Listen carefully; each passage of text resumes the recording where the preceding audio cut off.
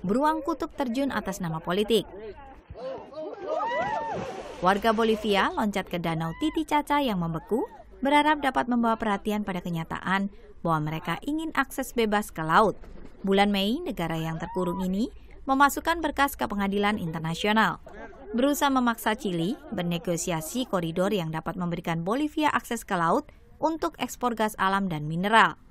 Penyelenggara kegiatan Juan Carlos Valdivia.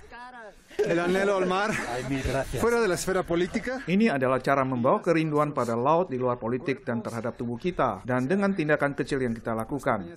Mayoritas Bolivia tidak tahu bagaimana berenang. Mungkin jika kita belajar berenang, kita akan merubah sesuatu ke yang produktif. La mayoría de los bolivianos Masalah akses air bebas beresonansi dengan rakyat Bolivia di seluruh negeri, meski cara yang berbeda. Di lapas, drama berjudul Mar yang berarti laut dimainkan di Teater Negara Teatro Los Andes. Aktor Alice Guimaraes berkata, drama berusaha mencari tahu aspek filosofi hubungan Bolivia dengan laut. Nosotros tratamos eh, de hacer una reflexión. Kami berusaha merefleksikan apa artinya kehilangan laut.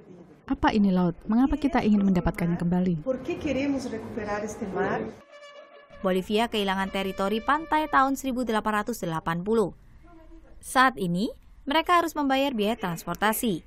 Tetapi tanpa tarif ekspor, hampir 1,6 juta ton kargo melewati pelabuhan Cili tiap tahun.